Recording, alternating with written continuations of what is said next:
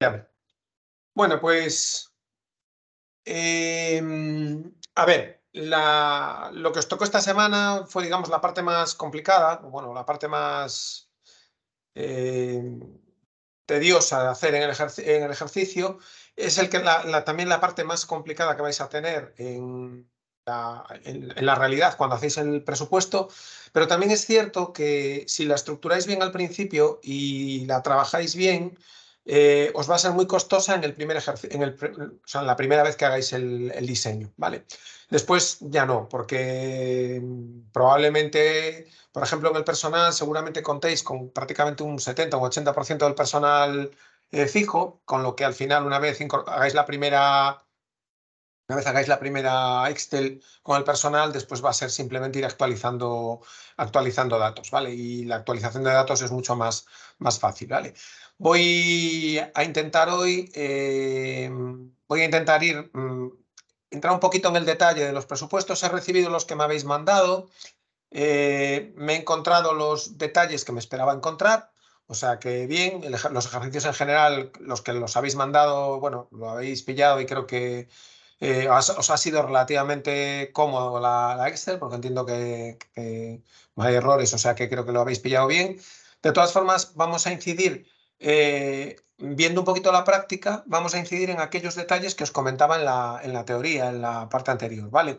Eh, la primera parte de la sesión va a ser un poquito, bueno, pues eso, mm, profundizar un poquito en el detalle de la práctica. Os voy a enseñar el ejercicio, solo enseñar, después ya os lo mandaré al final, pero os mandaré, vamos a ver el ejercicio resuelto para que veáis dónde pueden estar los posibles problemas y dónde, está, dónde tenemos que poner la mayor intensidad a la hora de hacerlo. Y, con eso cerraríamos, digamos, la, la, parte de revisión de la práctica del día anterior, ¿vale? Y después os hablaré un poquito de la de la última parte, de todo, que es la integración, la integración presupuestaria, es cómo hacemos después todo este proceso de juntar todos los presupuestos parciales e intentar hacer el presupuesto global. Y, finalizaremos un poco explicándoos la última práctica que tendremos que hacer ya en, la, en el taller, que será la de incorporación de, gastos, ¿vale? Que ya creo que ya tenéis, si no me equivoco, ya tenéis colgada en, la, en, la, en el espacio, ¿vale? En el espacio web tenéis la presentación de hoy y tenéis la práctica de hoy para, para poder hacer para la semana que viene. Eh, lo comenté antes, pero como no estabais todos, eh, recordad que finalizamos la semana que viene, pero hay la posibilidad de que individualmente, como entidad, podáis pedir una sesión de tutoría individualizada. ¿Vale? Entonces, el único requisito que tenemos para eso es eh, que se hayan hecho las prácticas, es decir, que las prácticas que hemos mandado se hayan entregado. ¿vale? Los que no las hayáis hecho, o, si alguien de los que está aquí no la ha hecho, o tiene alguna retrasada, o no le ha dado tiempo, o he hecho la mitad, no hay problema. Eh, tenemos una semana más, eh, intentad poneros al día con lo que no hayáis podido hacer. ¿Vale? Y la semana que viene, pues en vez de enviarme el ejercicio con la práctica 3, pues lo, lo enviéis con la 3 y la 4 incorporadas, las dos y ya está, ¿vale? El objetivo al final es que eh, la semana que viene tenga que estar todo para poder pedir esa, esa tutoría individualizada. Para pedirla, tenéis que pedírsela directamente a plena inclusión, a Pedro. Tenéis que decirle que queréis la práctica, la tutoría individualizada del taller de gestión presupuestaria, ¿vale? Con pedírselo a él, él ya me comunica a mí y después ya nos ponemos en contacto para ver eh, mm, con cada uno de vosotros cómo, eh, o sea, cómo podemos trabajar, digamos, esa, esa, parte, ¿vale? Bien. ¿Alguna duda respecto a estos temas logísticos iniciales? Entiendo que no. Pues venga, avanzamos entonces. Bueno, eh, Voy a poneros en pantalla un poquito el, ejercicio resuelto y os voy a comentar dónde, eh, bueno, dónde hemos encontrado los, los errores o algunas cosillas. Eh, en los que me habéis enviado la práctica, ¿vale? Eh, os la enviaré de vuelta con una versión 2, una V2, ¿vale? Donde os voy a sombrear en azul eh, digamos, aquellas cosas donde yo he encontrado, digamos, discrepancias y, donde las he corregido, para que veáis un poquillo por donde, en algunos casos son simplemente temas numéricos, de algún cambio, algún porcentaje o alguna cosa, y en algún otro tema, pues, pues bueno, es un poquito más allá, ¿vale? Entonces simplemente os la envío para que la comparéis con lo que habéis enviado y bueno, pues podáis ver dónde, dónde hay diferencias y tal, ¿vale? En cualquier caso, cualquier duda que tengáis, eh, me mandáis un correo y lo, os lo comento y lo hablamos, ¿vale? Bien, pues entonces os voy a compartir la pantalla y vamos a ver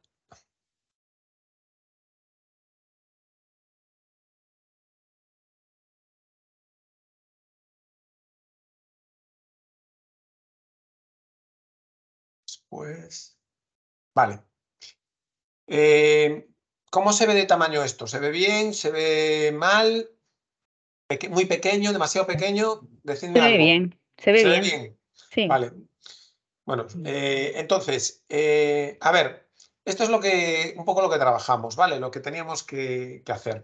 Como os decía, no tenía mi objetivo no era que os pusieseis a perder tiempo cubriendo ahí datos a lo, bruto, por eso, como visteis, todo lo que os di en el ejercicio inicial, pues prácticamente lo podíais copiar y, pegar aquí, ¿vale?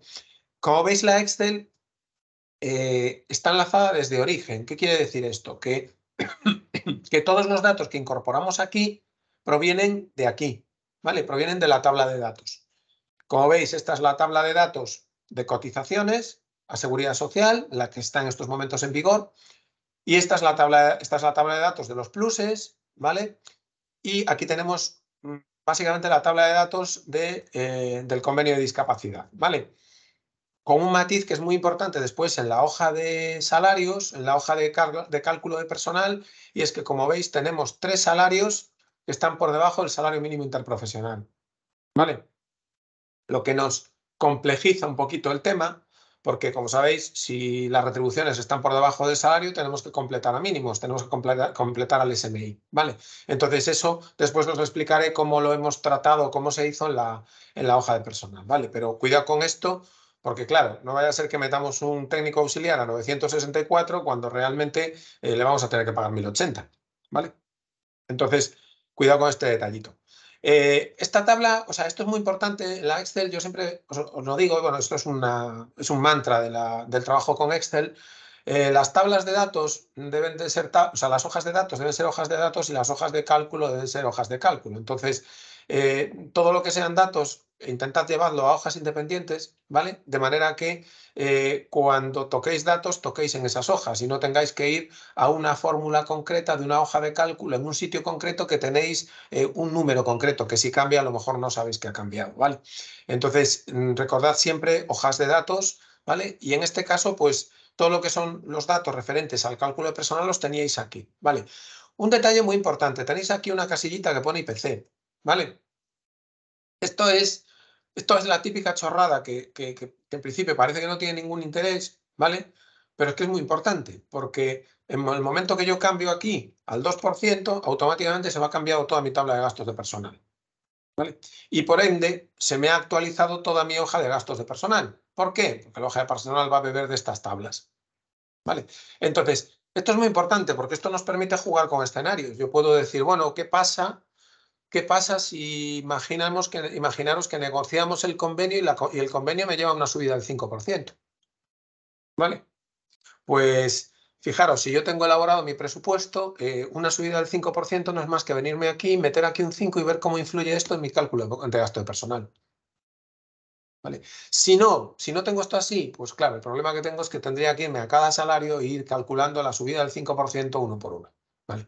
Entonces, estas son las típicas cosas que a nivel de gestión nos agilizan mogollón y nos permiten, eh, nos permiten, digamos, tener una visión rápida de un cambio en el modelo presupuestario. Quien dice IPC, pues dice una subida voluntaria que vosotros queráis hacer o cualquier otro tipo de incidencia que afecte concretamente a la tabla de gastos de personal. ¿vale?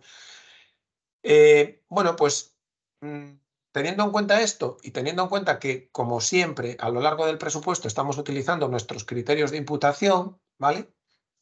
para personal que está compartido entre los tres centros o que está compartido entre los dos centros. Recordad que utilizábamos esta tabla para, digamos, mm, recordad al principio de todo cuando hablamos de gestión presupuestaria y os hablaba de una cosa muy importante que eran los criterios de distribución en el primer ejercicio que hicisteis, ¿vale?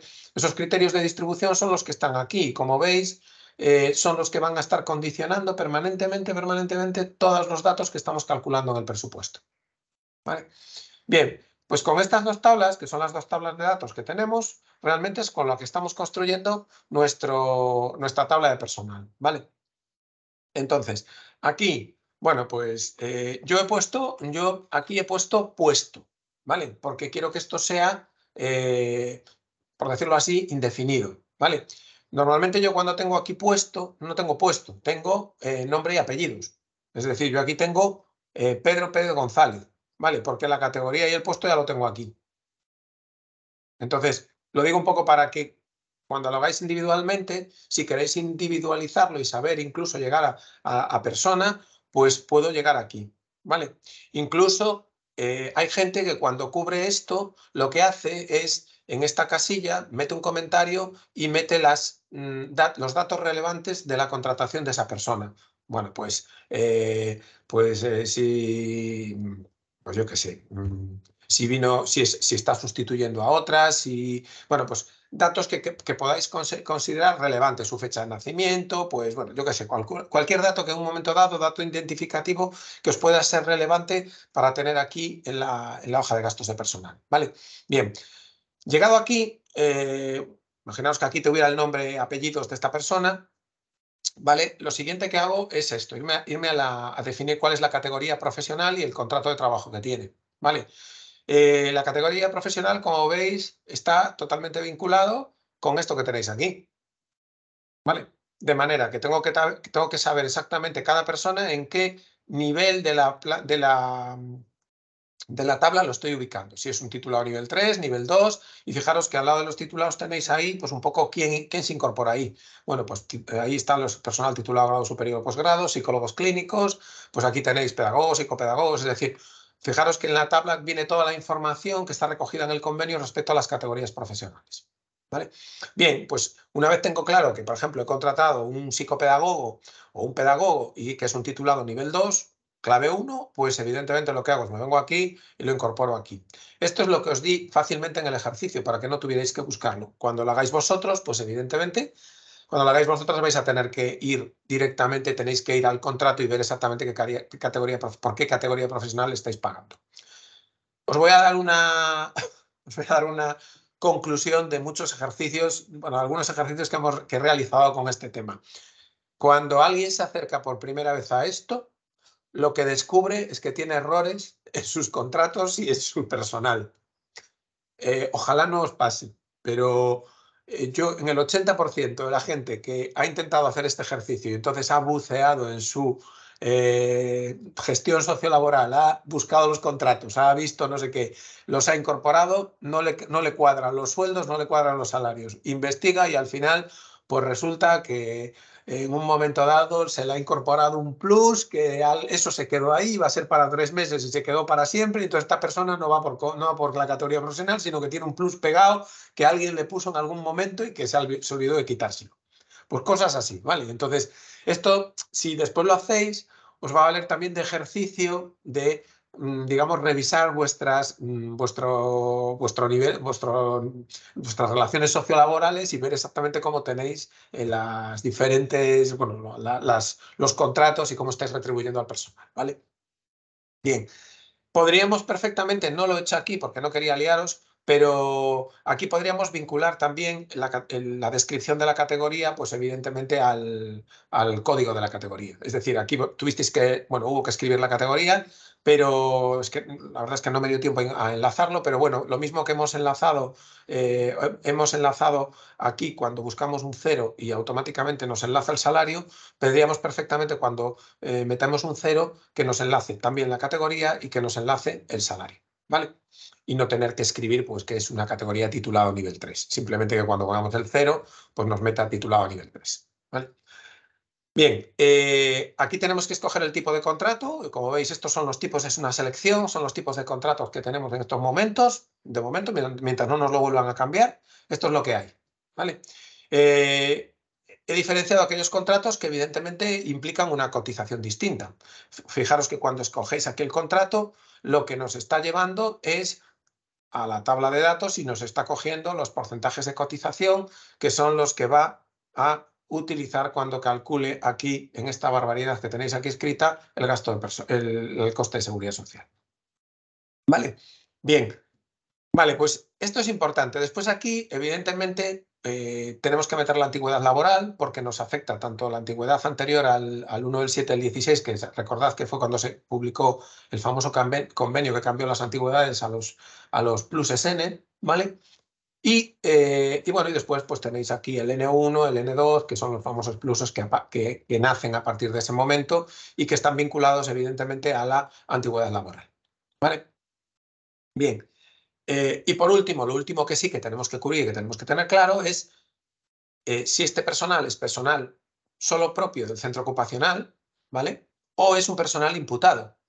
Imaginaros que es un personal común que está eh, afectado a los tres centros. Bueno, pues imputaría en este caso por el criterio de imputación del porcentaje del personal común.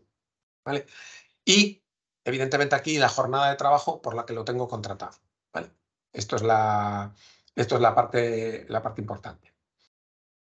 Mm, como veis, estos datos que tenéis aquí son los básicos que tenéis que tener para ubicar a una persona en vuestra empresa a nivel sociolaboral.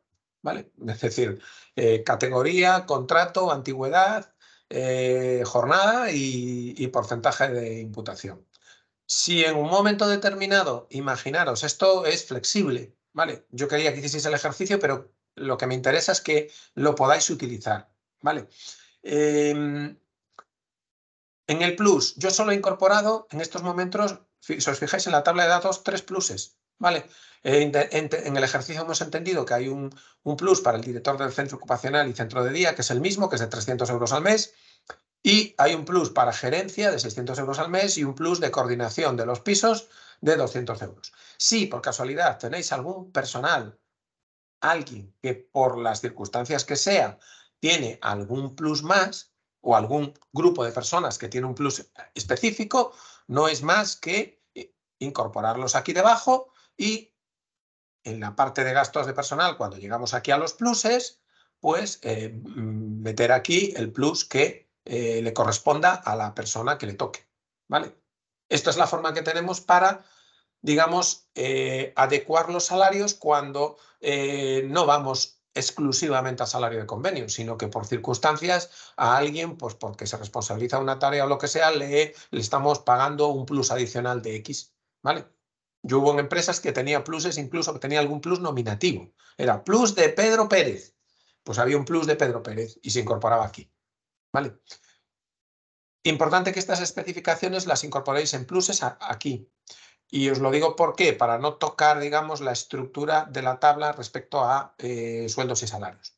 ¿vale? Porque si no, tendríamos que incorporarlo aquí, lo que sería un lío tremendo. ¿vale? Entonces, yo creo que es mejor, creo que es más interesante eh, hacerlo desde aquí. Vale. Esta antigüedad anterior a, 1900, a 2016 para vosotros va a ser un dato, porque esto, es digamos, fue una cantidad que se, marcó, se cerró en el momento que apareció el nuevo convenio y entonces es una cuantía fija que va a quedar ahí y no va a cambiar eh, a lo largo de los años. Y después el plus N2, N1 y N2 os va a variar evidentemente en función del año que, que estéis haciendo el presupuesto, porque al final realmente va a depender de la antigüedad del personal. ¿vale? Entonces habrá gente esto es muy importante porque aquí habrá gente que cumplirá plus N2 en el ejercicio y plus N3, ¿vale? Esta es otra de las bondades de la hoja, que si yo me cojo la masa salarial de una persona del año anterior y simplemente lo que hago es eh, mm, meterle el 2% del IPC y llevármela al año siguiente, estoy obviando que a lo mejor esa persona, pues resulta que el año siguiente, en febrero, cumple un N3 y eso significa un 7%, un 7,2% más.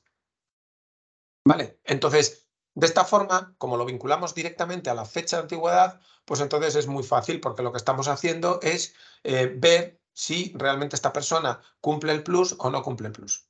¿Vale? Y si lo cumple, pues lo va a incorporar y, si no, pues, pues, pues no lo incorporará. ¿Vale? Bien, el resto, el resto sale solo porque el resto es calcular las pagas extras, ¿vale? Que van por ahí, que tenemos que evidentemente condicionar al salario, es decir, las pagas extras tendrían una fórmula mucho más sencilla, que sería simplemente coger la suma de salarios, dividirla entre 12 y multiplicarlo por 2. ¿Vale? Eso sería una paga extra. Pero ¿qué pasa? Que tenemos que filtrar y tenemos que ver si eh, el salario mensual que le sale a esta persona, con los pluses de antigüedad, el N1 y el N2, si, los salarios, si lo que le sale a esta persona mensualmente es superior al salario mínimo interprofesional.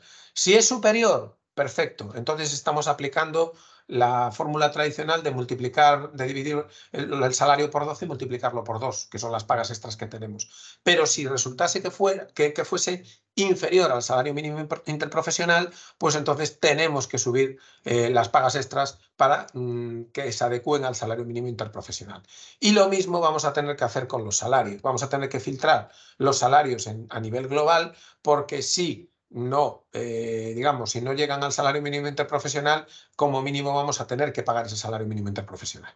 ¿Vale? Entonces la tabla está pensada, está pensada para eso. ¿Vale? La seguridad social, no os voy a explicar esta fórmula ni tenía pensado, pero básicamente lo que está es, eh, digamos, ajustando la cotización en función del, del, tipo de contrato que tenéis, ¿vale? Y si hubiese algún tipo de bonificación de seguridad social, ¿vale? Por contratación indefinida, por bueno, ahora prácticamente no queda ninguna, pero imaginaos porque tenéis una, porque contratasteis a una persona con discapacidad mayor de 45 años, ¿no? Bueno, pues si tuvieses algún tipo de bonificación de seguridad social, donde hay que meterla es aquí, ¿vale? Y después dejo un espacio para las indemnizaciones, ¿vale? Indemnizaciones que básicamente eh, están vinculadas a aquellos contratos eh, eventuales por circunstancias de la producción eh, superiores a 30 días o, inferiores a 30 días. ¿vale? Son los contratos que en estos momentos son los famosos, entre comillas, que sustituyen a los antiguos contratos por obra, ¿vale? Que, lo que hacen es, pues bueno, pues eso, digamos, generar una pequeña, una pequeña indemnización a la finalización de ese contrato. Bueno, pues esto es un poco la explicación, así a grosso modo, de lo que es la, hoja, ¿vale? De cómo funciona esta hoja y de cómo la podéis utilizar, digamos, en vuestra, si, si queréis utilizar este modelo en vuestra dinámica ordinaria, ¿vale? ¿Hasta aquí alguna duda de lo que es el planteamiento de la hoja? ¿Os ha surgido alguna duda cuando habéis trabajado con ella? ¿Alguna cosa que no hayáis entendido?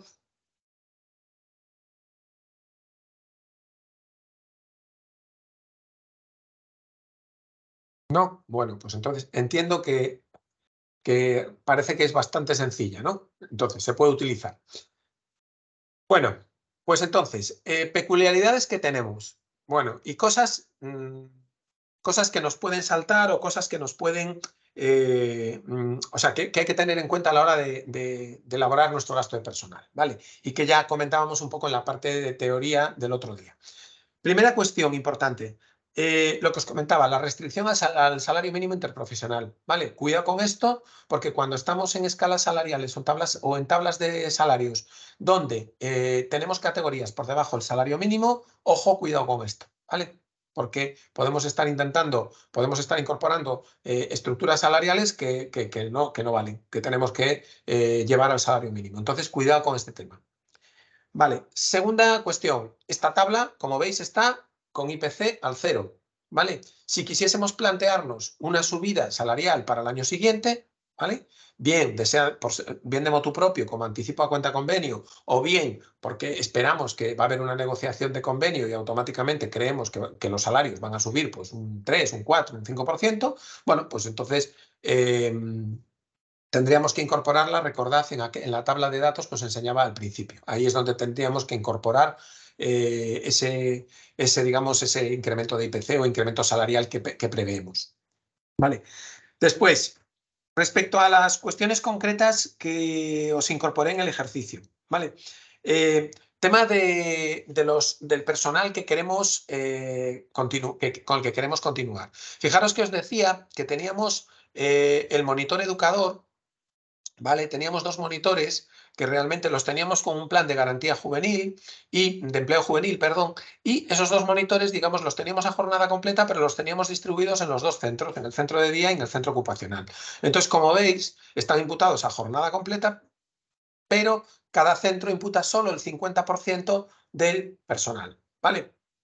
Recordad, y esto era muy importante, que esto estaba vinculado a una subvención. Entonces, cuando hicisteis la página de ingresos, cuando hicisteis la parte de ingresos, había una parte que os dije que no cubrierais, porque iba directamente vinculada, ¿vale? Y si os fijáis, si, os vais a la parte de, si veis aquí la parte de ingresos y nos vamos a los ingresos por subvenciones y donaciones, si nos vamos al plan de empleo juvenil, fijaros que yo lo que estoy es vinculando el ingreso de esta celda, lo estoy vinculando al gasto de personal, a la celda S16 y S17 del centro ocupacional, que como veis, la celda S16 y S17 son estas dos, si no me equivoco, ¿vale? En el centro ocupacional, S16, S17. S16 y S17, ¿vale? Porque en este caso entendía, o creíamos así, y normalmente suele ser así, las indemnizaciones por fin de contrato no las suelen cubrir las subvenciones, ¿vale? Entonces, realmente lo que me está cubriendo la subvención es el gasto de personal, que básicamente es el sueldo y salario más la seguridad social, ¿vale? Entonces, para todos estos todas estas contrataciones que están directamente vinculadas a subvenciones, la forma de enlazarlas presupuestariamente es así, ¿vale? Es directamente aquí. Con lo que, de esta forma, cuando estamos cubriendo nuestro gasto de personal, como veis, pues ya estamos incorporando la subvención de ingreso. Esto, como, está vinculado a una subvención, yo particularmente utilizo los códigos de colores para identificar personal. ¿Vale? Entonces, yo que estoy teniendo, si os fijáis, la parte, los, el personal que está subvencionado, pues lo tengo en este color verde. ¿Para qué? Para darme cuenta de que esto está vinculado a la subvención directamente. ¿Vale? Bien, a partir de aquí, bueno, pues ¿qué pasa? Que estos dos chicos, os decía que finalizaban el 31 de octubre, ¿no? Entonces, ¿qué pasa? Pues que llega el 31 de octubre y, eh, bueno, pues tenemos que eh, finalizar ese contrato y tenemos que indemnizarnos, ¿vale? Bien, eh, la indemnización son, son 12 días por año, por tanto, han estado 10 meses, le, han tocado, le ha tocado 10 días de salario de indemnización. ¿vale? Esta es la fórmula que, que, que, hay aquí de cálculo. Bien, después quedaba, nos decía que, como, está, como en la entidad a esta persona, a los dos centros se le iban estas dos personas, pues mm, lo que quería el centro ocupacional, el centro ocupacional no hablaba de esto, hablaba de, bueno, se podría entender que también estaba vinculado a, que estas dos personas se iban, pero bueno, eh, lo que quería el centro ocupacional era, eh, pedía un monitor educador. En el, ejercicio, muchos de vosotros habéis entendido que esto no estaba vinculado y que lo que quería el centro ocupacional era un monitor educador eh, contratado desde 1 de enero del 2023, es desde el principio de año a jornada completa y para ellos solos. Bueno, pues lo hemos incorporado así. Esta interpretación, como os decía en respuesta a alguno de vuestros correos, esta interpretación esto es un ejercicio, es un en fuego real, esto no, no ha lugar. Todo el mundo sabrá, todos tenemos claro a fuego real, en datos reales, si esta persona la vamos a contratar a jornada completa y si va imputada al centro o desde cuándo, desde 1 de enero, desde el 30 de junio. Entonces ahí no hay fallo. En el ejercicio, bueno, pues hemos, en, me he acogido a vuestra interpretación, ¿vale? Entonces, bueno, pues la contratamos del 1 de enero al 23 a jornada completa e imputado 100%. Esto es como, como hemos incorporado. Y como es una incorporación nueva del ejercicio 23, pues he utilizado otro código de colores. Algunos de vosotros lo que habéis utilizado es el texto en rojo, pues también. Pero bueno, sí que es interesante que todo aquello que sea modificaciones sustanciales del cuadro de personal en el 23, sí que es importante tenerlo, mm, por decirlo así, diferenciado. ¿Por qué? Porque probablemente es donde podemos eh, tocar más, es donde podemos hacer ajustes, ¿vale? Es decir, yo ahora puedo coger eh, e irme a, o sea, incorporando todo, claro, yo tengo el modelo completo hecho, y eso lo tendríamos que ver la semana que viene, pero una vez tengamos el modelo completo, yo puedo ver qué pasa con el escenario que estoy planteando. Es decir, qué pasa contratando a una persona jornada completa, ¿vale? Los 12 meses del año, ¿qué pasa con el resultado de ese, centro de coste? ¿Vale? ¿Podré hacerlo o no puedo hacerlo? ¿Tengo que negociar o no tengo que negociar? Pues esa es un poco la, clave, ¿no? Bien, eh, en el caso del centro de día, pues em, lo que nos decía básicamente es que lo que pretendía el, el, responsable del centro de día era mantener, entre comillas, el nivel, digamos, el, cuadro de personal que tenía. ¿Yo qué he interpretado hecho, a eso o qué he hecho en el ejercicio? Bueno, pues lo que he pensado es, bueno, estas dos personas que estaban a mitad de jornada, cada una de ellas se van el, 31 de diciembre, el, perdón, el 31 de octubre, Bueno, pues entonces, si yo quiero mantener mi cuadro de personal, lo que voy a tener que contratar, pues es a una persona el día 11 de, a, un monitor educador en las mismas características, el día 1 del 11 del 23 y como tenía dos personas a media jornada, pues lo que pediré será el monitor a jornada, o sea, el monitor a jornada completa. ¿Vale? ¿Qué pasa? Que lo tengo solo por dos meses, porque realmente eh, empieza el 1, de, el 1 de noviembre. ¿Vale? Entonces, eh, tendré que incorporar ese monitor a jornada completa. Estas son las, digamos, las especialidades de personal que hemos incorporado en el, en el ejercicio, un poco lo que tendríamos que ver. Y podrían ser los que nos pudiesen dar juego para negociar con ese centro de día o ese centro ocupacional y decirle, bueno, pues esto es posible o no es posible. Lo que tú me pides es posible o no es posible. O lo que tú me pides es posible, pero entonces hay que tocar algo por el ingreso, porque a lo mejor no nos cuadra. ¿Vale? Esto es un poco eh, la negociación que tenemos que hacer en, ese, en esa agenda presupuestaria que yo os contaba y que os decía que podía ser interesante, eh, donde podemos involucrar a los distintos responsables, ¿no? Para también explicarles por qué a veces las cosas se les dice sí y a veces se les dice no, que esto no son antojos. Bueno, como veis, aquí en la estructura, lo que es el, personal común, lo que se hace es distribuirlo llevarlo o distribuirlo ya directamente cada centro de coste. ¿vale? Entonces, como veis, la suma que tenéis del personal común aquí, aquí y en los pisos os va a dar el 100%. ¿vale? Y como veis, tenemos una persona que... Mm, el jefe de cocina y el ayudante de cocina, que solo están compartidos en dos centros, porque los pisos no tienen eh, ni jefe de cocina ni ayudante de cocina. Los pisos tienen otra, el tema de la restauración lo llevan por otro lado. Ese es el escenario que teníamos.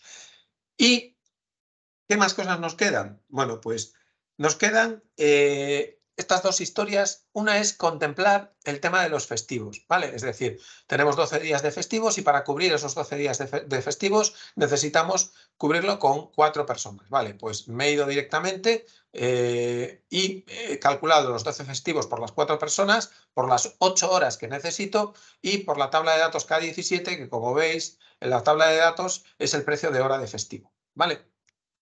Entonces, esto lo cubriré de esta forma. Bien, eh, y en, el, en, la nocturnidad, como veis, tenemos aquí el, complemento de nocturnidad. Entonces, lo que, lo que hacemos en el, en el, complemento de nocturnidad es indicar que es un técnico, ¿vale? Una categoría 3, y entonces lo que hacemos es irnos a la tabla de datos y meter estas 1.720 horas de nocturnidad que vamos a tener que cubrir, ¿vale? 215 días por 8 horas, eh, vamos a tener que cubrirlas eh, al precio de la, tabla, de la tabla de datos F6, que es el plus de nocturnidad que tiene la persona que... ¿Vale? ¿Qué estamos suponiendo con esto? Estamos suponiendo que esta nocturnidad la hace el personal que ya está, es decir, que vamos a pagar un complemento de nocturnidad. Si realmente no tuviéramos el personal y tuviéramos que contratarlo, pues entonces evidentemente no serían los 3.000, sería el, el coste que tuviera por la categoría profesional que le tocara más después su complemento de nocturnidad. ¿Vale? Hasta ahí más o menos, esto que último que dije me habéis, entendido, ¿no? Entiendo que sí porque nadie me dice nada.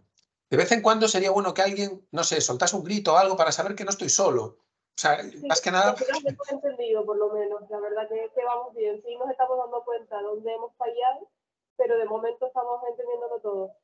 De todas formas, os mandaré el ejercicio revisado, ¿vale? Entonces, eh, ved las casillas azules que van a ser las que en teoría pues tienen algún, algún detalle, ¿vale? Bueno, después, eh, a ver, hay una cosa que aquí no he contemplado y que sería interesante eh, que lo pensaseis, ¿vale? En vuestra vida real. Seguramente que todos, todas vosotras, en vuestros centros, tenéis controlado o más o menos sabéis vuestra tasa de absentismo. ¿Vale? Es decir, todo el mundo se pone malito a lo largo del año, o casi todo el mundo, menos vosotros, que al final nos podéis permitir el lujo de poner malitos.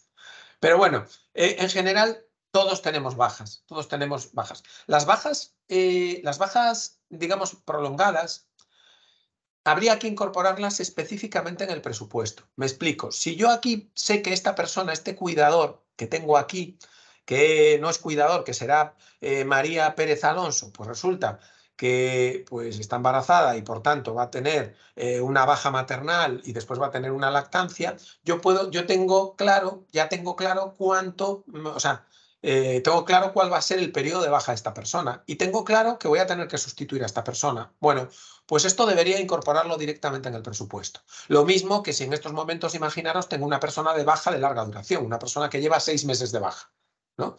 Pues si ya, si ya lleva seis meses de baja y no tengo expectativas de que se vaya a incorporar en breve o parece que sí, que se va a incorporar dentro de otros cinco o seis meses, esas situaciones especiales debería de recogerlas en el presupuesto. Es decir, deberían ser líneas independientes. ¿Vale? Pero después tenemos otro porcentaje de absentismo que es el de la gripe de los tres días, el del catarro de los dos días, el del dolor de cabeza de cuatro días o eh, lo que sea. Es decir, al final tenemos pequeños volúmenes de baja de una semana, 15 días, no sé qué, no sé cuánto. Todo eso al cabo del año, supongo que más o menos lo tenéis controlado, o, deberíais de tenerlo controlado. Debéis de saber más o menos, bueno, pues yo básicamente al año el, volumen de bajas que tengo supone contratar a un cuidador a jornada completa. Bueno, pues si sabéis eso, si tenéis ese porcentaje de absentismo, deberíais de incorporar aquí, deberíais de incorporar dentro de la, dentro de la estructura de personal el, eh, digamos, el absentismo laboral. ¿Vale? ¿Por qué? Porque no incorporarlo es ponerse una venda en los ojos. Es decir, eh, pensar que llevo con un absentismo laboral del 4% durante los últimos cuatro años y que este año no va a haber nadie de baja, pues es demasiado optimismo, creo yo. ¿Vale? Entonces, esto sí que es importante, son esos detalles que afinan un poco más el presupuesto. ¿Vale? ¿Por qué? Porque si después también es cierto que imaginaros que llegáis a mitad de año y resulta que estáis fuertes como robles y nadie ha cogido una baja, pues podéis volver al presupuesto y decir, vale, pues en vez de meter a un cuidador a jornada completa, voy a reducirlo y lo meto a media jornada. O meto solo seis meses. ¿Vale? Es decir, esa línea me va a permitir ir ajustando mi gasto de personal derivado del absentismo. Bien. Eh, último detalle, y esto no tiene nada que ver con el gasto de personal. Y esto es lo que los informáticos llaman el huevo de Pascua. ¿vale? Entonces, eh, en esta Excel también había un huevo de Pascua, es decir, había un error que, mm, había que, bueno, o podíais intentar encontrar. Esto es un error que nos suele pasar habitualmente, por eso lo he dejado, ¿vale? Lo he dejado para, para que lo vierais. Y es, cuidado con los sumatorios. Me explico. Si yo incorporo líneas y resulta que en el sumatorio esa línea no se ha incorporado, pues Genial, habré hecho un trabajo impresionante de cálculo de gasto, pero mi presupuesto está mal. Entonces, eh, siempre es bueno que cuando toquéis gasto de personal, incorporéis líneas o hagáis cualquier cosa, comprobéis que realmente esto suma 105, 179,44. Porque si no lo suma, quiere decir que esta casilla está mal. ¿Vale? Entonces, eso eh, en vuestro ejercicio, en el centro de día, concretamente aquí, esto estaba mal. Es decir, yo tenía esto hasta H47 nada más. ¿Vale? Es decir, yo aquí tenía una casilla menos. Lo que quería decir que aunque metisteis el, monitor educador nuevo, no os lo había sumado en el presupuesto. ¿Vale? Eh, ya os digo, es una chorrada para pillaros, pero es cierto que muchos presupuestos eh, están mal por cosas como esa porque me he olvidado de sumar la casilla no sé qué, o porque esto no lo he volcado directamente al otro sitio. Entonces, buscaros siempre en las hojas casillas de control, chequeos, ¿vale?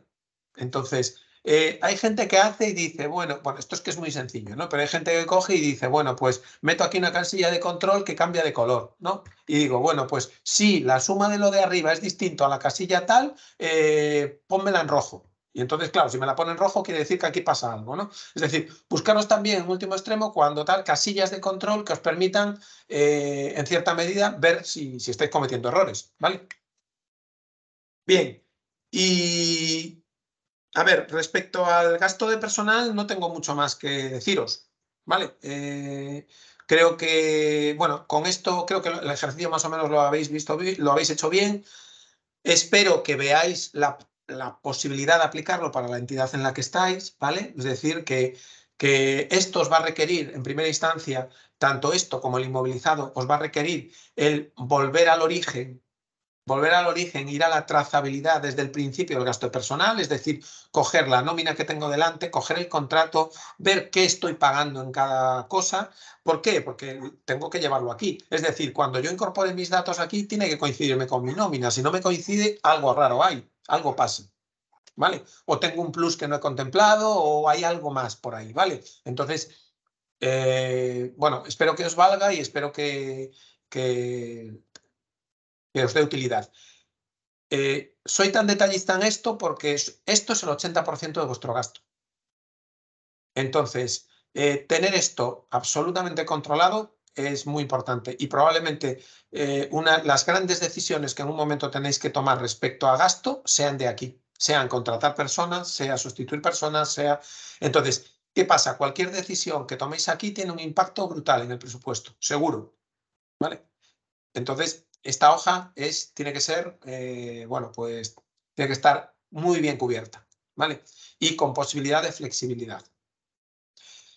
Vale, pues ¿alguna duda de gasto de personal o cerramos esto? ¿No? Veo caras de no, o sea, quiere decir que seguís vivos y me, estáis atendiendo. Ven. Vale, ¿alguien tiene alguna duda respecto al gasto de personal? ¿Algo que le haya surgido cuando hizo, hizo el ejercicio? ¿No? ¿Todo bien? Ángel, una cosilla, yo no sé por qué, si es que tengo mal configurada la celda de, sueldos en eh, la categoría de titulado grado superior, porque a mí me salen unos, bueno, pues unos céntimos menor que a ti, me sale 7.479,67 y a ti te sale 7.480,40.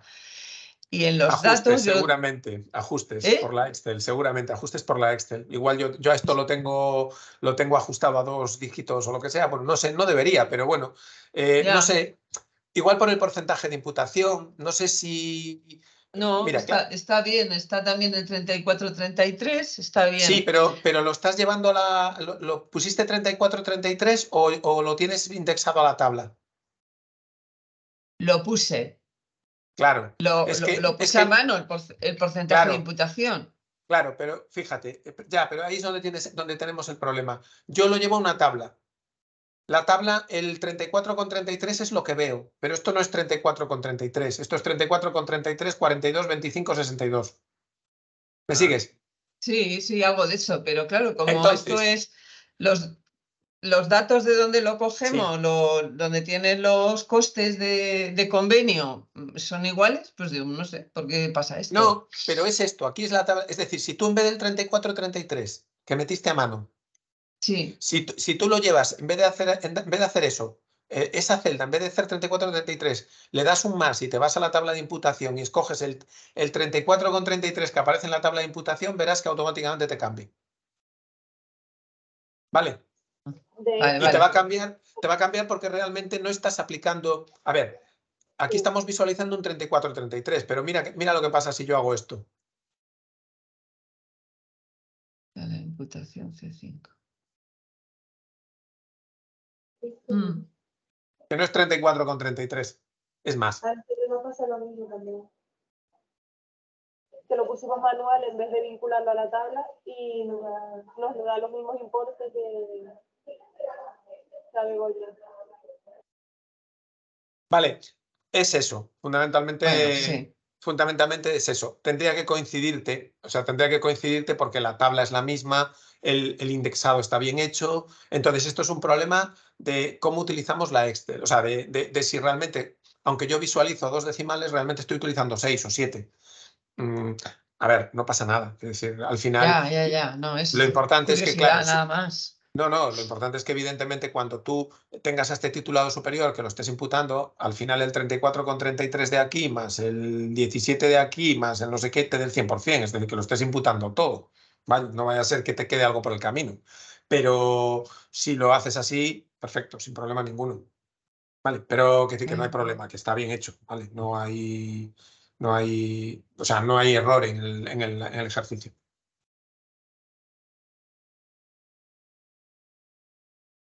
Más dudas, más cosillas que os hayan salido. Vale, y luego eh, baja, baja la, vamos, sube la tabla esta que te estamos viendo del centro de día, el personal del centro de día, súbela. Ah, ¿Hacia dónde? Ah, aquí. Venga. ahí, este que tienes, monitor educador en amarillo, Sí. 2.500, eh, a mí no me sale esa cantidad. Bueno, no me coinciden algunas cosas, pero bueno, veo los errores, ¿no? Pero este te lo pasaré, te, paso el ejercicio con Ya, ya lo sé, ya, te digo. Cuando tienes el porcentaje de imputación al 100% y al 100%, 2.500, no sé, me parece muy poco. No sé si es que tengo yo aquí mal configurada la... Son dos meses, ¿eh? Que son dos meses. Ya, ya, ya.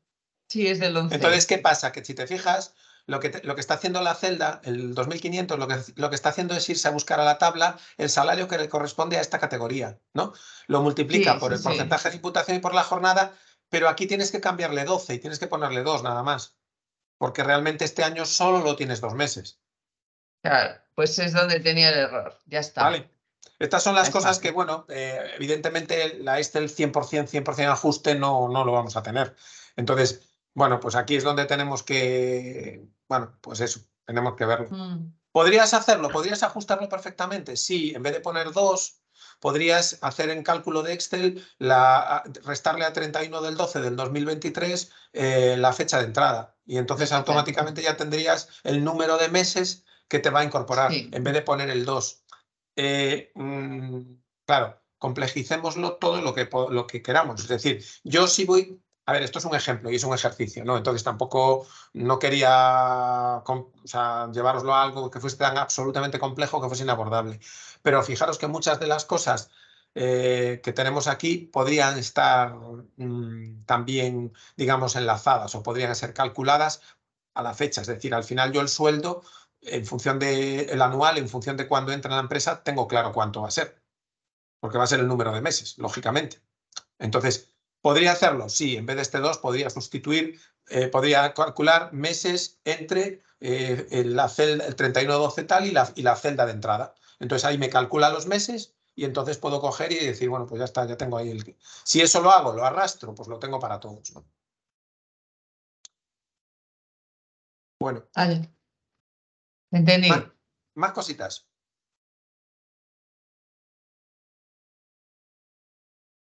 ¿No? Bueno, pues vamos a la tabla de amortización, subvención de capital, que a efectos complejos, ya os decía que no era muy complejo. Aquí lo complejo es conseguir los datos, ¿vale? Los datos reales.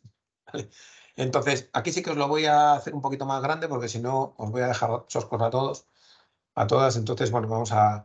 Así se ve un poquito mejor, ¿no? Incluso así se ve mejor. Bueno, entonces, eh, ¿Qué teníamos aquí? Bueno, pues eh, os había dado esta parte de estructuras, lo había dado, ¿vale? Fijaros que aquí eh, hay dos campos que yo no he incorporado, que vosotros ibais a poder incorporar, ¿vale? Porque los tenéis. Aquí mm, para el ejercicio no, eran, irrelevantes.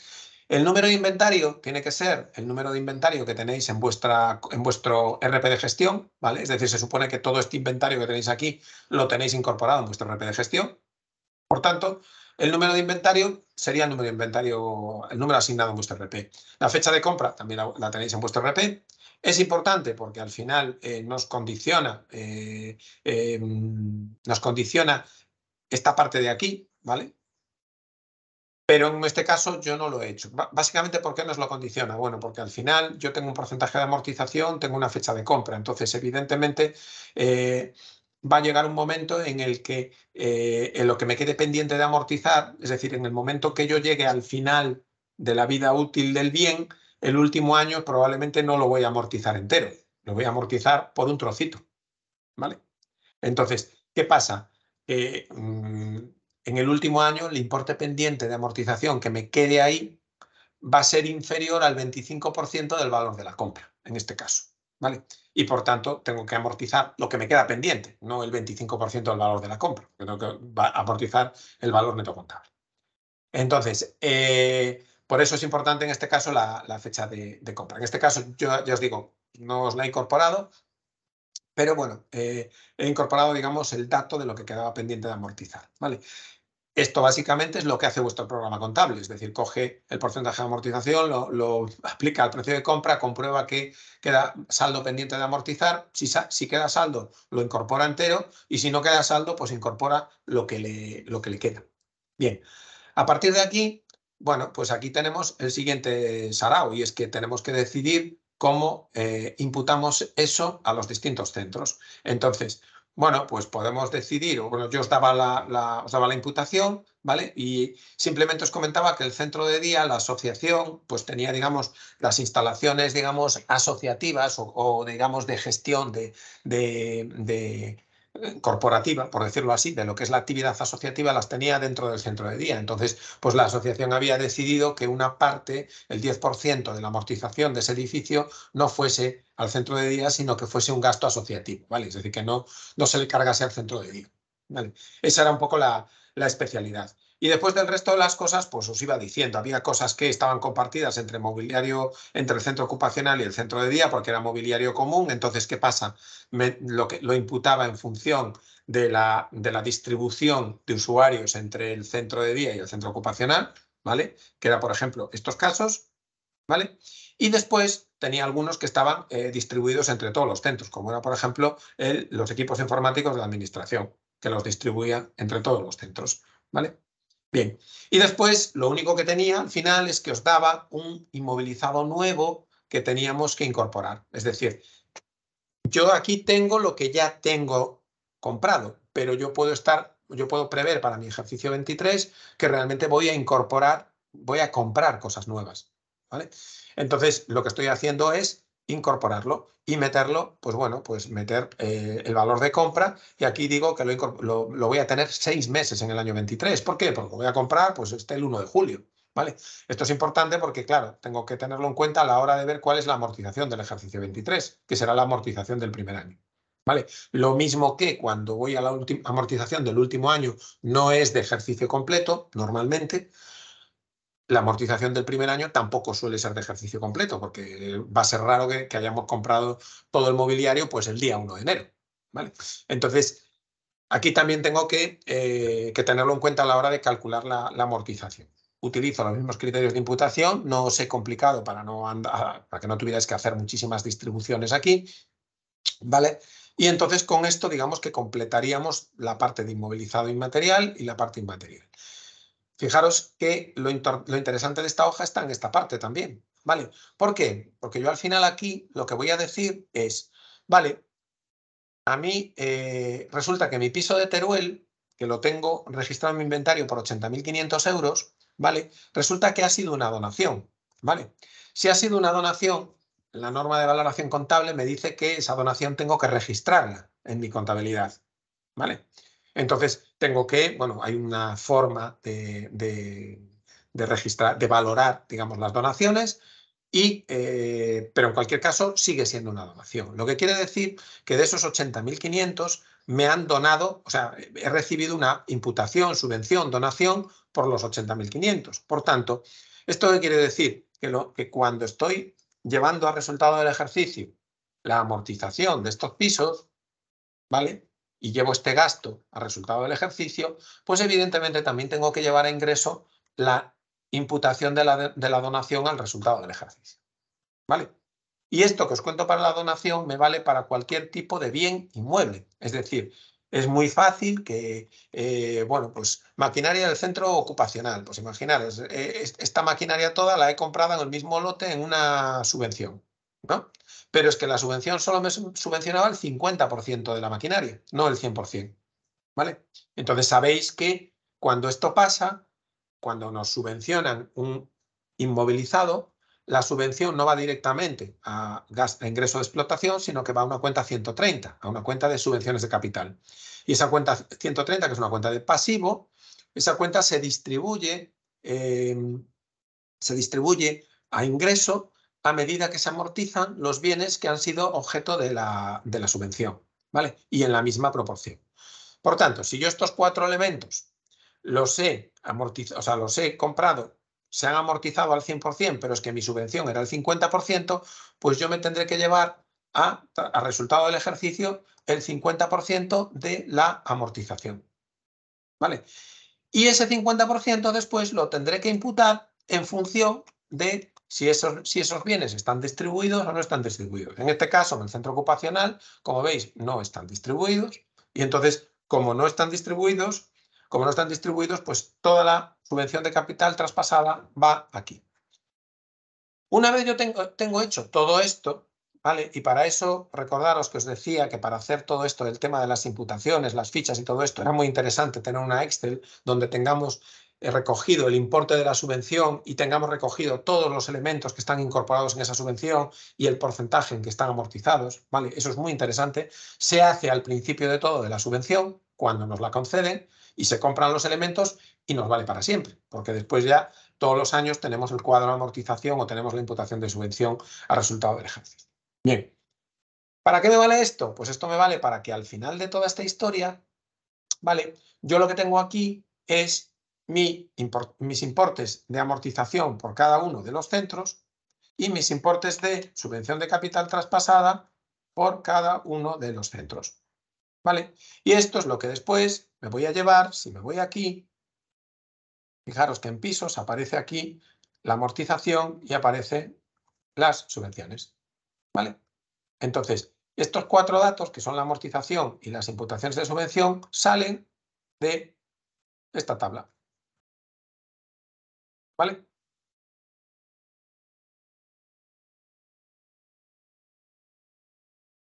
Bien. Hasta aquí más o menos. Este, los que lo habéis hecho, ¿habéis tenido alguna dificultad? ¿No? Begoña, tú tienes aquí una chuleta, porque este creo que no he tenido tiempo a hacerlo, entonces, pues bueno, ya lo ves aquí, ya ves cómo es. Eh, importante esto, lo de las imputaciones, importante los porcentajes de, subvención imputados, ¿vale? Eh, es sencillo, esto se hace 0, no tiene nada porque lo, difícil aquí fundamentalmente es conseguir los datos originales. Es decir, conseguir el precio de compra, el porcentaje de amortización, el importe pendiente, todo esto que nos lo da nuestro programa contable, ¿vale? Nos lo da nuestro, nuestro programa contable. Con lo que una vez tenemos eso, lo único que tenemos que saber es cuál es la amortización del ejercicio cómo la imputamos y cuál es la subvención de capital traspasada. una vez tenemos esto, lo que os decía, los importes que tenéis aquí abajo son los importes de amortización que se, que se llevan a la cuenta de resultados y aquí tenéis los importes de subvención que se llevan a la cuenta de resultados. ¿Vale? Con eso tendríamos toda la parte de inmovilizado, la tendríamos eh, cubierta y la tendríamos hecha. Lo mismo que antes, pues lo que os dije. Eh, ¿Qué es lo difícil? Lo difícil es hacer esto al principio. ¿Por qué? Porque evidentemente tendremos aquí todo, todo nuestro inmovilizado. ¿Qué, dificultad tiene después? Pues la dificultad que tiene después es añadir los elementos que se compran en el ejercicio. Que, bueno, pues serán algunos, pero no será una barbaridad. ¿vale? Entonces, eh, añadir eso e ir actualizando. y en principio, no es, eh, dentro del proceso de elaboración de gestión presupuestaria, no es una de las cosas que lleve demasiado tiempo una vez lo he hecho la primera vez. ¿Vale? Bien. Bueno, pues con esto tenemos ingresos, o sea, ya tenéis casi casi el 75%, el 80% hecho, porque tenéis, tenemos los ingresos, recordad que esto ya lo hicimos, ¿vale? Tenemos los gastos y tenemos la amortización de subvención. ¿Qué nos va a quedar? Nos van a quedar los gastos, los gastos de explotación corriente, que será la parte que nos tocará hacer para la semana que viene. ¿vale? Esa, práctica es la que tenéis colgada. ¿vale? Intenté, como en el resto de, de los ejercicios, que no os perdáis en los datos, en el sentido de que intento daros los datos para que sean de inmediata incorporación en las Exceles, en la Excel, y bueno, hay alguna cosita que sí que hay que pensar un poquillo. ¿Vale? Para que no sea solo copiar y pegar, sino que, bueno, pues hay algunos datos que hay que ver en qué medida los, cómo los calculamos para imputarlos a los distintos centros. Bueno, eh, no es nada más que lo que os pasa en el día a día, ¿eh? O sea, os vais a encontrar que hay cosas que, bueno, que son las, las disquisiciones y las dudas que podáis tener en el día a día de cómo hacemos para imputar gastos a centro, ¿vale? Entonces, eh, esa es la parte que nos queda para cerrar. Una vez tengamos esto, pues el presupuesto está hecho, porque todo lo que tenéis aquí no es más que un volcado de toda la información que tenéis en las hojas de aquí al final. ¿Vale? Cualquier cosa que queráis tocar nunca se toca aquí, siempre se toca en los orígenes. ¿Vale? Siempre que haya que hacer cualquier modificación, nos vamos a las hojas de datos y es aquí donde tenemos que tocar. ¿Vale? Y con esto, ¿qué tenemos? Pues tendríamos lo que ahora os voy a explicar un poquito en teoría, en 15-20 minutos porque es algo cortito, que es toda la parte de integración, ¿vale? Una cosa es verlo en la Excel, otra cosa es hacerlo.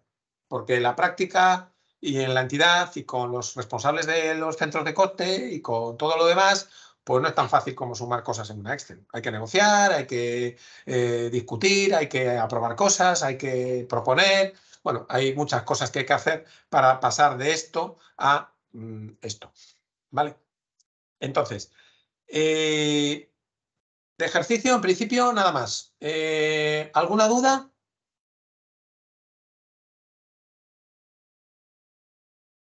¿Cómo os ha parecido? ¿Os ha parecido asequible? ¿Lo veis? Eh, ¿Os parece útil?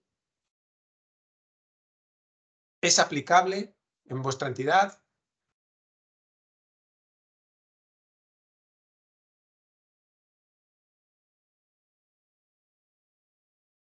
Lo pensaréis.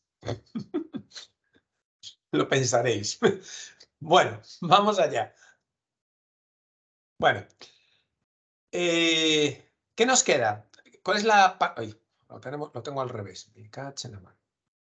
Esperad un momento. Vamos a dejar de compartir una cosa y lo vamos a compartir de otra forma.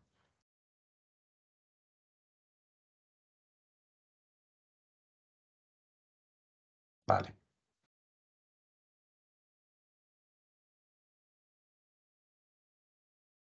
Bien, veis la pantalla grande, ¿no? Bueno, entiendo que sí, porque nadie dice que no. Eh, ¿Qué nos queda ahora? Bueno, pues poneros, os queda, vosotros veis en el ejercicio, vais un poquito detrás de lo que es la, exposición conceptual. Eh, nos queda la parte de gastos en el ejercicio, que es la que tenéis para hacer esta semana e integrar, ¿vale? Una vez tengáis todo eso, ¿cuál es el siguiente paso que tenemos que hacer y lo que veremos la próxima semana? Pues veremos toda la parte de integración presupuestaria, seguimiento y control. Es decir, fijaros, pensad en aquella agenda presupuestaria que os decía al principio, ¿vale? Pensad en aquella agenda presupuestaria y os decía, bueno, tenemos que ir delimitando, nombrar responsables, si creemos que es interesante en los distintos centros, que los responsables asuman las tareas de poder ir haciendo cosas que les podemos ir dando o, de incorporar o de tal. Pero una vez tenemos todo eso, lo que nos va a dar todo ese volcado de información es pues una cuenta de resultados. Nos va a dar el, resultado final de toda esa integración es el, el número que nos da al final, si vamos a ganar o vamos a perder, si tenemos un resultado negativo o tenemos un resultado positivo, ¿vale? Y entonces a partir de ahí es donde tenemos que empezar a cuadrar y empezamos a negociar y empezamos a integrar y vemos posibilidades y tenemos que volver atrás. ¿Y qué pasa si en vez de contratar a dos contratas a uno nada más? ¿O qué pasa si en vez de subir las cuotas un 5% las subimos un 7%? ¿O qué pasa si eh, el convenio con la administración en vez del 0,85 de subida pues es el 1,2? ¿O qué pasa si conseguimos una nueva subvención que creemos que la podemos conseguir en este ámbito? Bueno, pues esos qué pasas son las vueltas atrás en el presupuesto, son las revisiones de, la, de la gestión presupuestaria. Pero bueno, una vez tenemos esto, una vez tenemos ya todos esos datos, ¿qué tenemos que hacer? Integramos, ¿vale? Integramos todos esos, esos cuatro grandes presupuestos los integramos en la cuenta de resultados. ¿Vale? Y esa cuenta de resultados no es más que esto. Es un documento estimativo que incorpora previsiones de ingresos, ingresos y gastos durante un plazo determinado. ¿vale? Generalmente utilizamos un horizonte temporal amplio, ¿vale? Normalmente estamos hablando de presupuestos anuales, pero, ojo, y esto es muy importante, esto es un documento interno, es un documento de trabajo, ¿vale? Lo que quiere decir que podemos ajustarlo y podemos hacer tantas V de presupuesto como nos dé la gana. Lo que quiere decir que probablemente vosotros como entidad seguramente tendréis que, tendréis que aprobar un presupuesto en vuestra asamblea. Bueno, pues en algún presupuesto vais a tener que llevar. Y probablemente en octubre, noviembre, diciembre, que sería el periodo en el que lógicamente habría que hacer esta, este trabajo de, de presupuestación, para presentar el presupuesto, pues habréis este, hecho este proceso de incorporación de datos, negociación y llegar a un punto final. ¿vale? Bueno, pues ese punto final será la versión de presupuesto que tendréis para vuestra eh, asamblea, patronato, lo que queráis. Pero ¿qué pasa? Que nosotros como gestores, para nosotros eso es un documento muerto. ¿Vale? A mí eso no me vale para nada. Si me cambian las condiciones, ese documento es papel. No, no, no me vale para nada, no me vale para tomar decisiones. Por tanto, como el documento de trabajo, la Excel de trabajo que, tenéis, es, un, es, una Excel que os permite eh, perfectamente flexibilizar al máximo vuestra gestión presupuestaria, lo lógico es volver a utilizarla y hacer distintas versiones cada cierto tiempo de cómo van las cosas y de cómo puedo eh, ajustar ese presupuesto. ¿vale? Porque a lo mejor a, la asamblea le he presentado un presupuesto donde dije que iba a tener X subvenciones, pero es que ahora resulta que tengo X más Y, porque he conseguido alguna más. Entonces, lo que le he presentado a la asamblea ya se lo explicaré en diciembre o en enero, cuando tenga la, o el año que viene, cuando tenga la asamblea de aprobación de cuentas, ya le explicaré las diferencias. Pero a mí, para trabajar y para gestionar, eh, no me vale. Lo que necesito saber es, es qué consecuencias tienen esas decisiones, esas eh, diferencias en mis decisiones de gestión. Por tanto, ese documento tengo que tenerlo vivo, tengo que cada cierto tiempo actualizarlo, hacer una, v, una V2, una V3, hay quien coge y dice, bueno, pues trimestralmente me cojo la, gestión presupuestaria y veo qué cosas han cambiado, ¿vale? Hay quien lo hace semestralmente, depende del volumen, depende de los centros, depende de la complejidad de la gestión, ¿vale? Y de la movilidad o variabilidad de los datos. Pero hay que hacerlo, ¿vale? Hay que hacerlo. ¿Para qué? Para tener información útil para tomar decisiones. Eh, los ingresos. Los ingresos engloban, como veis, todas las partidas de fondo, de entradas de fondos, los gastos regulan todas las aplicaciones de fondos. Esta que tenéis aquí, pues es la cuenta de resultados previsional, ¿vale? Me interesa a nivel presupuestario, sobre todo nos interesa hasta aquí, hasta donde pone eh, excedente, perdón, variación de patrimonio de neto reconocida en el excedente del ejercicio, porque sabéis que con el nuevo plan general contable eh, mm, se nos ha eximido el estado de cambios en el patrimonio neto, pero lo que nos han hecho ha sido calzarnos el estado de cambios en el patrimonio neto a partir de aquí porque aquí nos obligan a meter las subvenciones recibidas, las subvenciones, es decir, esta cuenta de resultados al final eh, esta es la variación de patrimonio neto reconocida en el excedente, pero al final el objetivo final es llegar aquí, que es la variación de patrimonio neto global del ejercicio. Y para esto nos incorporan movimientos de activos y pasivos aquí, movimientos de estados de cambio en el patrimonio. Entonces, eh, a nivel presupuestario nos interesa la tradicional cuenta de resultados, la que acababa en el resultado del ejercicio, ¿vale? que es la que podemos eh, gestionar.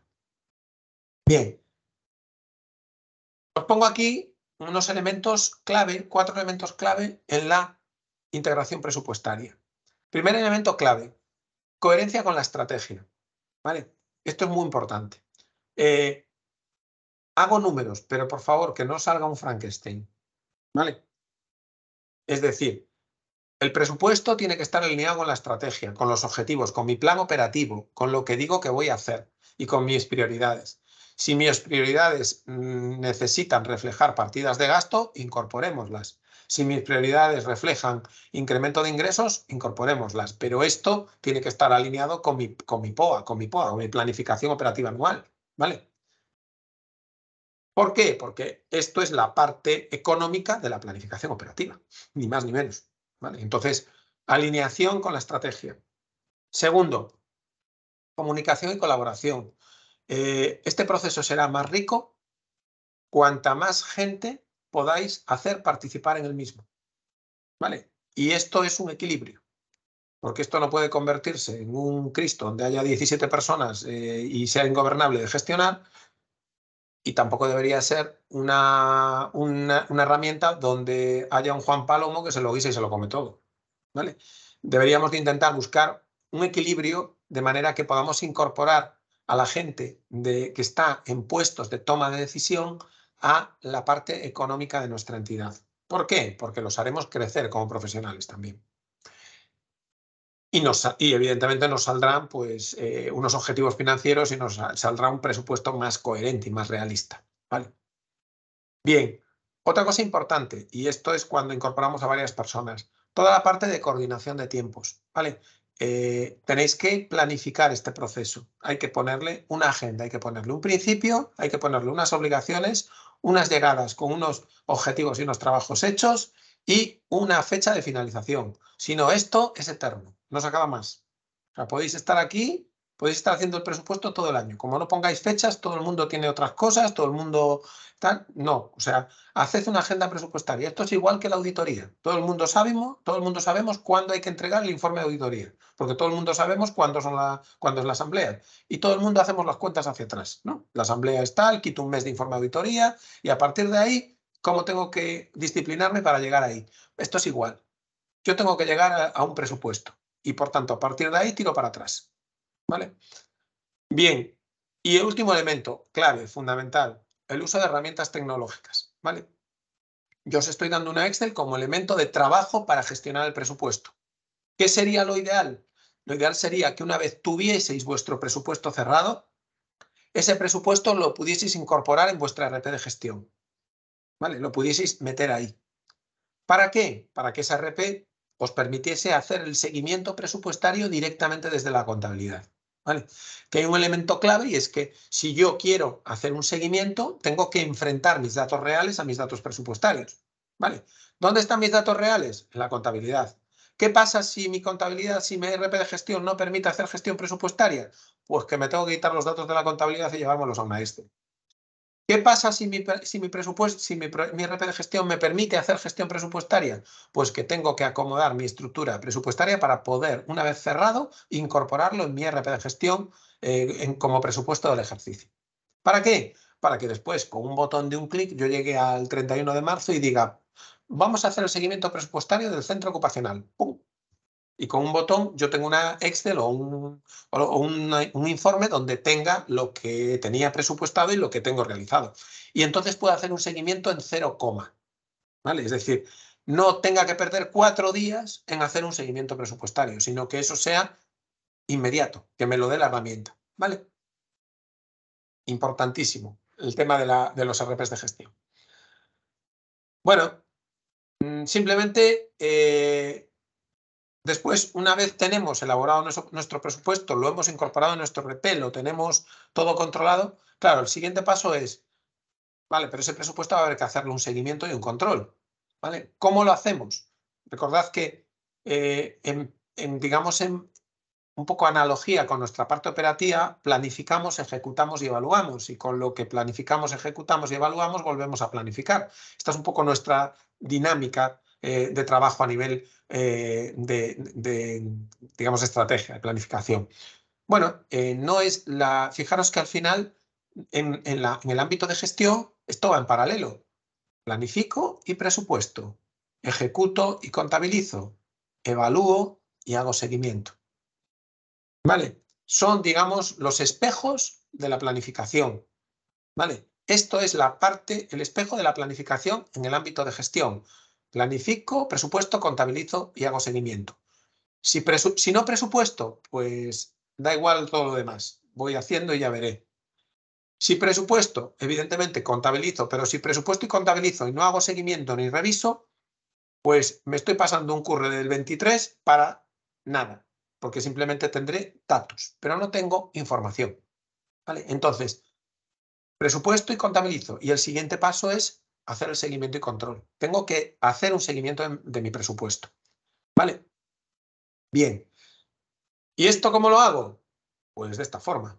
Primero, creo que en todo presupuesto deberíamos de, o deberíais de establecer los famosos KPIs. Deberíais de, establecer indicadores, ¿vale? Warnings, elementos de riesgo. Es decir, eh, tengo que ver dentro de mi presupuesto aquello que supone más importancia y aquello que tengo que controlar o que tengo que fijarme explícitamente en sus variaciones, ¿vale? Porque esos, esos, esos KPIs tengo, son los que me dan las primeras alertas de que las cosas van mal, ¿vale? Entonces, evaluando pues 10, 10, 12 KPIs, puedo tener una digamos, evaluación inmediata o bastante fácil, digamos, de, eh, de si las cosas van bien o van mal. Y después me puedo meter más al detalle. Pero, eh, bueno, pues hay cosas que tengo que ir controlando, ¿vale? Entonces, si, mi si uno de mis KPIs es controlar mi gasto de personal, por ejemplo, ¿vale? Pues, eh, bueno, pues a lo mejor simplemente con hacer un contraste directo de mi gasto de personal cada trimestre, que supongo que ya lo hacéis, ¿vale? Lo que pasa que no le llamaréis KPI, le llamaréis otras cosas, pero bueno, eh, si me voy a ver mi gasto de personal en este trimestre y lo comparo con lo que tenía presupuestado, ya puedo ver si voy bien o voy mal. ¿Vale? Si ya me estoy desfasando, no me estoy desfasando. ¿Qué problemas tengo? Si voy más o menos igual, bueno, pues entonces me puedo quedar tranquilo y a lo mejor me puedo hacer una evaluación o un seguimiento presupuestario más tranquilo y más sosegado. Si, si me salta una alerta, pues, uy, cuidado. ¿Vale? Bien. KPIs como elementos para eh, evaluar el presupuesto. Este esta evaluación hay que hacerlo de una forma eh, regular. Deberíamos de, en función de la, dimensión de entidad que, tenéis y de la entidad y de la necesidad de información que tenéis, tendríais que ver cada cuánto tenemos que hacer esa revisión, cada cuánto tenemos que periodificar esa revisión y deberíais de incorporarlo en agenda. Esto no tiene que ser algo que se le ocurre a alguien en un momento determinado. ¿vale? Eh, dependiendo, ya os digo, del volumen y de lo que necesitáis, pues podéis hacer revisiones mensuales, trimestrales, bueno, pues depende de un poco de la cantidad de centros de coste que tengáis, bueno, pues depende un poco de todo eso, ¿vale? Eh, el seguimiento regular, pues, ¿qué, nos va, nos va, a permitir? Pues eso, eh, detectar desviaciones y tomar medidas, ¿no? Más en, más en profundidad que, que, los KPIs. Y después, ¿cómo se hace? Pues comparando evidentemente presupuesto con realizado, enfrentando cifras presupuestales, presupuestadas a cifras reales, ¿vale? Y eh, buscando cuáles son las razones de, que hay detrás de esas desviaciones, ¿no? Eh, y, viendo cuáles son las causas. Si son factores internos, y esto es muy importante, porque los factores internos los puedo controlar o puedo o tengo más capacidad de decisión sobre ellos, o si son factores externos y son factores de cambio externo, entonces tengo menos capacidad de intervención y lo que tengo es más capacidad de adaptación. Tendré que ver cómo me adapto al cambio externo pero no es una intervención directa para corregir un error. ¿vale? Entonces, importante separar esta, cuáles son las causas, digamos, de, estos, de, estos, de, estos, de estas desviaciones. ¿vale? Y después, eh, evidentemente, en estas desviaciones, importante eh, el valor absoluto y el valor relativo que estamos calculando en las desviaciones. ¿vale? Es decir, tengo que ver no me puedo meter en todas las desviaciones, tengo que meterme en aquellas desviaciones que bien por porcentaje eh, de desviación en, gastos o ingresos muy grandes o bien por desviación absoluta en gastos pequeños, pues eh, tenga que intervenir para eh, efectuar ese análisis de detalle. Hay otras cosas que habrá desviaciones, pero ni me interesarán, pasaré de ellas. ¿vale? No puedo perder el tiempo en todo. Tengo que perder el tiempo en aquellas cosas en las que puedo tomar decisiones. Bien, y con esto estaríamos. Es decir, esto es lo que, lo que hay que hacer en el seguimiento y, gestión presupuestaria, ¿vale? El seguimiento de la gestión presupuestaria. A nivel práctico, eh, no nos vamos a hacer. Podría, en ese ejercicio que tenéis ahí, yo os voy a explicar, la, Excel que os he, que os he, la Excel que os he mandado, o sea, que os he puesto ahí, eh, sí que tiene la posibilidad, o sea, tiene la, tiene la posibilidad incorporada del seguimiento presupuestario, ¿vale? pero eh, no, están incorporados datos reales, ¿vale? Mm, evidentemente en vuestra entidad los vais a tener, ¿vale? Y la Excel está preparada para que cuando le incorporéis datos reales automáticamente os calcule las desviaciones, ¿vale? Entonces, sí que es cierto que mm, a nivel de, usabilidad por vuestra parte, sí que lo vais a, sí que lo vais a, tener, ¿vale? Bueno, pues esta era la parte de exposición teórica que, como os decía, tenéis en, el, en, la, en el espacio de depósito de documentación que os dejo plena, ¿vale? Entonces lo podéis descargar cuando queráis. Y tenéis el ejercicio que os voy a compartir ahora.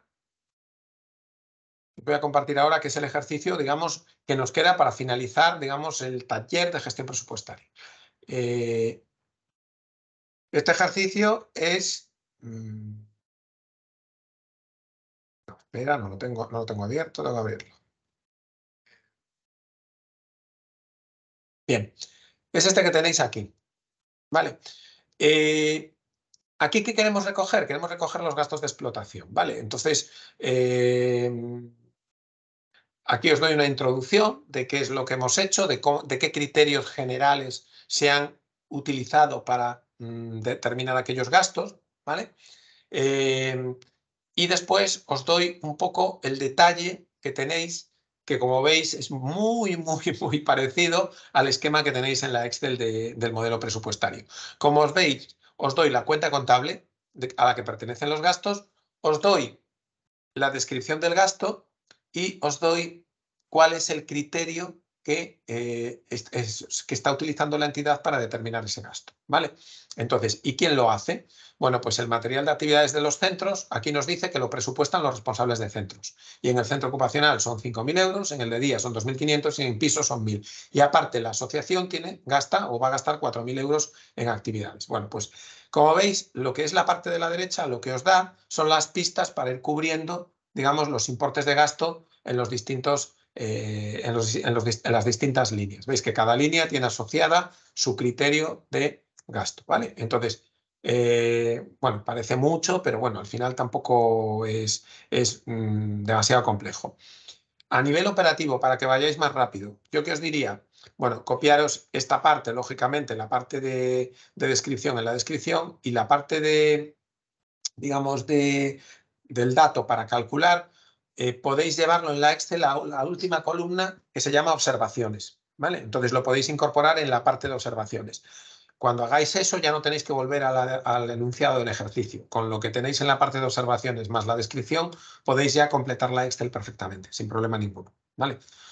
Eh, no creo que os lleve demasiado tiempo porque no hay cosas especialmente complejas.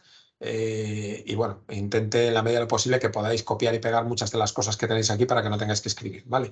Este es el ejercicio que nos queda para esta semana. Es el ejercicio que completaría eh, el, modelo presupuestario. ¿vale?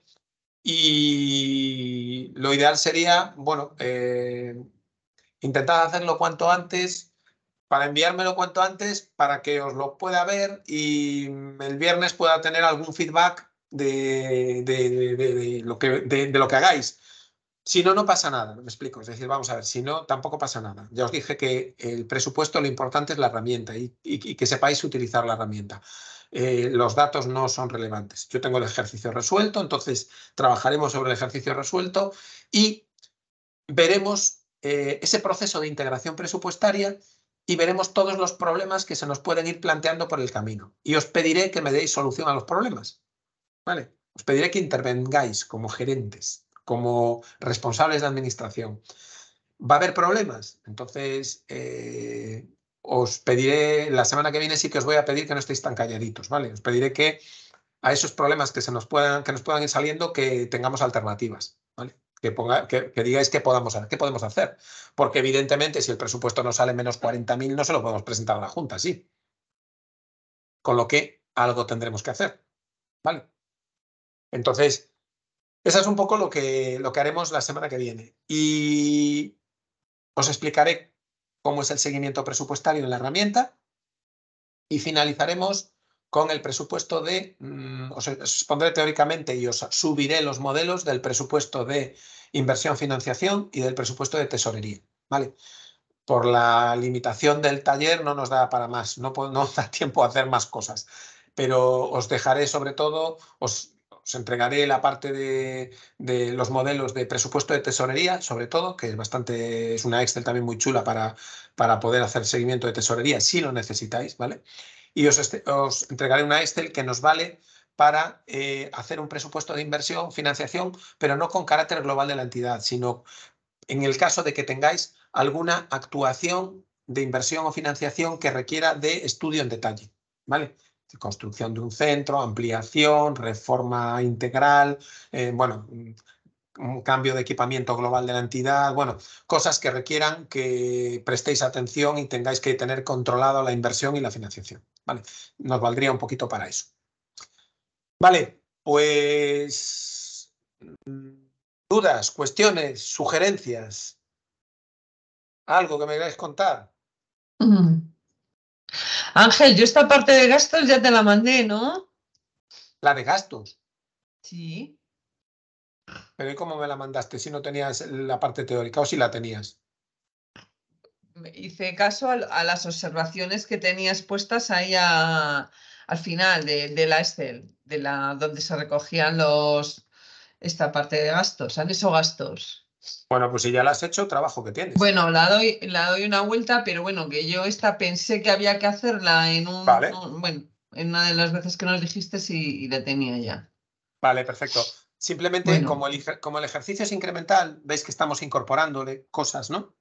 Eh, este, este, es el último, este es el definitivo que vais a, mandar, ¿no? Entonces, quiero decir, mm, haced vosotros también un poco mentalmente ese ejercicio de integración presupuestaria, es decir, acabad lo que os queda y ved un poquito, echarle una panorámica a la Excel para ver cómo os queda, para ver un poco qué os sale, ¿vale? Vale. Porque lo que os salga seguramente vais a tener que pensar. ¿Vale? O está, el ejercicio está pensado para que pensemos, no para que sea simplemente pim pam pum, sumar y ya está. Vale, entonces, bueno, pues eso.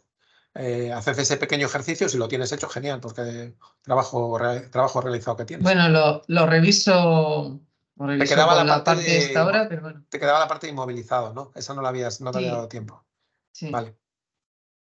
Bueno, pues. Pues hasta aquí hemos llegado. No sé cómo lo lleváis. ¿Qué os parece? Si os está aportando o, bueno, a estas alturas, como nos aporte, estamos buenos.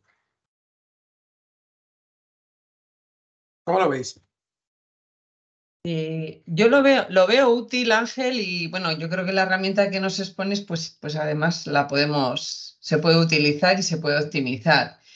Eh, ha sido un poco las fechas, porque es que este mes de junio, ya sabes, que a nivel de administración es una locura, porque presentas cuentas, tienes a los auditores, tienes los patronatos, entonces pues, pues cuesta, ¿no? volverte a situar, volverte a, a, poner en el ejercicio y tal, pero, pero bueno, yo mi valoración es, es muy buena y creo que son herramientas que, que nos pueden servir mucho. Bueno, por eso intenté que no metierais, que no picarais datos, por eso intenté que fuese casi un copiar, pegar y bueno, que fuese, que os fuese ágil poder hacerlo, ¿no? Para no. Porque son, son, malas fechas, sí, es cierto, sí. Bueno, pues. Nada, alegría que queda poco. Ya acabamos el fin de mes, ya pasamos lo más difícil, nos queda primera semanita de junio y nada, meted los gastos, revisad un poquito lo que habéis hecho antes, Intentaré mandaros entre hoy y mañana, los que me enviasteis el ejercicio, intentaré mandaros el ejercicio de vuelta con, con las cosillas que, con las celdas en azul, que yo vi que había alguna diferencia y que yo os he corregido para que las, la comparéis con lo que tenéis, ¿vale? Y nada, nos vemos, enviadme el ejercicio cuanto antes podáis, no lo dejéis para el jueves, ¿vale? Porque si no, no me da tiempo a verlos todos. Y nada, lo de la tutoría, si queréis, si queréis hacer la tutoría después al acabar, si queréis tener esa hora y media de tutoría eh, específica con vuestra entidad para ver un poco, adaptar, digamos, todo esto a lo vuestro, eh, pues nada, hablad con Pedro, mandadle un correo, decirle que os interesa la qué entidad sois, que os interesa la tutoría y Pedro ya se pondrá en contacto conmigo para decirme cuántos sois y para poder encajarlo, ¿vale? Eh, y por mi parte, nada más. Buen fin de semana. Lo bueno de tener los cursos los viernes es que siempre os deseo buen fin de semana. O sea que nada, disfrutad mucho, no paséis mucho calor. Y nada, nos vemos el viernes que viene y ánimo que ya queda poquito. ¿Vale? Vale. Venga, muchas gracias. Gracias. Hasta luego. Buen fin de semana a ti. Hasta luego. Adiós.